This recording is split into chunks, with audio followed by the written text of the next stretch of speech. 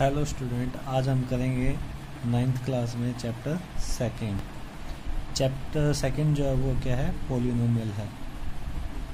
Polynomial polynomial में जो पोली है, उसका मीनिंग होता है मैनी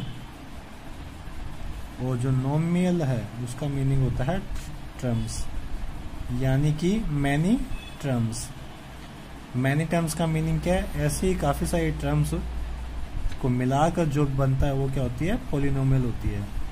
मैनी टर्म्स के अंदर हमारे पास one term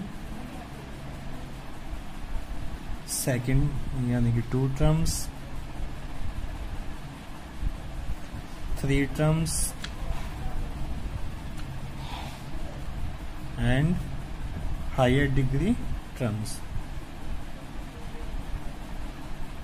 higher degree terms जो ये थ्री टर्म्स हैं, इनका एक टाइप से नाम हमें पता होता है। और जो हायर टर्म्स या हायर डिग्री के अंदर जो आती है, उन्हें हम पोलिनोमियल के अकॉर्डिंग जानते हैं। जो वन टर्म है, उसे हम कहते हैं मोनोमियल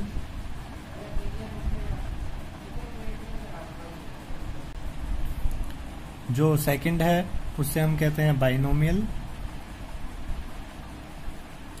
जो थर्ड है, उसे कहते हैं ट्राइनोमियल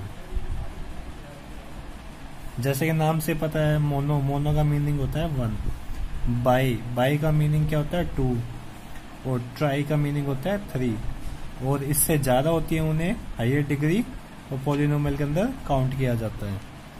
अब मोनोमियल के अंदर कौन कौन सी टर्म आती है? वो आती है जिसके अंदर वन टर्म हो. फॉर एग्ज़ाम्पल सेवन है जैसे एक्स है फाइव एक्स है. फाइव एक्स यानी कि एक सिंगल टर्म है. और हम ले सकते हैं फोर्टीन एक्स केयर ले सकते हैं।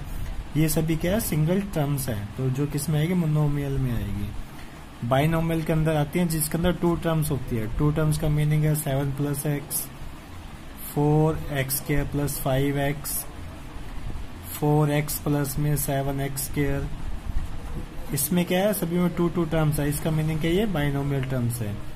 ट्राइनोमियल के अंदर जिसके अंदर थ्री टर्म आती हो। Four X plus five Y plus में जेड, फोर एक्स के प्लस फाइव वाई प्लस में टू। ये क्या थ्री इसके अंदर क्या है? थ्री टर्म्स है। इसका मीनिंग क्या है? ट्राइनोमियल्स है।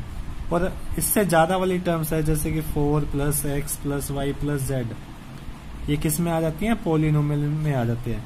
यानी कि एक हो या एक से ज़्यादा जो भी टर्म होती है, वो सभी किसमें आती हैं? पोलिनोमियल में आती हैं। नाउ अब हम करेंगे zero of polynomial zero of polynomial zero of polynomials क्या होता है? कि let p x is a polynomial p p x का एक पोलिनोमियल है, जिसमें p a equal to zero we can say that a is zero of polynomial. Polynomial of px इसका meaning क्या हुआ?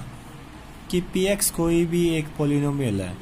जब हम x की जगह a पुट करें और वो वैल्यू ज़ीरो हो जाए, और वो वैल्यू क्या आ जाए? ज़ीरो के इक्वल आ जाए, तब हम कह सकते हैं कि जो a है ना वो क्या है? ज़ीरो ऑफ़ पोलिनोमियल है। फॉर एग्ज़ाम्पल हम पी एक्स ले लेते हैं फाइव प्लस में एक्स ले लेते हैं। फाइव प्लस एक्स अब यहाँ पे हमें एक्स की एक ऐसी वैल्यू पुट करनी है, जिससे ये वैल्यू क्या हो जाए? ज़ीरो आ जाए। यानी कि एक्स की जगह हम क्या ले लें? माइनस का फाइव ले लें। एक्स की जगह माइनस का फाइव पुट करें, तब ये वैल्यू क्या बन जाएगी हमारे पास? अब जो x है, उसको हम मान लेते हैं a इक्वल टू ये हो जाएगा five equal to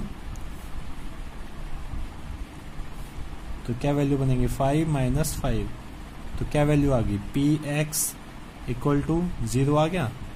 P x equal to zero अब यहाँ पे x की जगह हमने ए माना और ए की वैल्यू क्या लिया हमने? माइनस के फाइव लिए तो अब हम कह सकते हैं कि माइनस जो फाइव है is zero of polynomial p x यानी कि एक एक्स की या ए की एक ऐसी वैल्यू जिससे जो पी एक्स है, वो क्या हो जाए? ज़ीरो के इक्वल आ जाए।